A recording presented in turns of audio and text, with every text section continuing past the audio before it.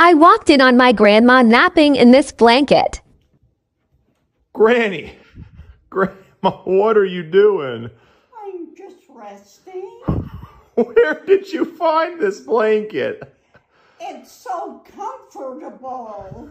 I, I bet it is.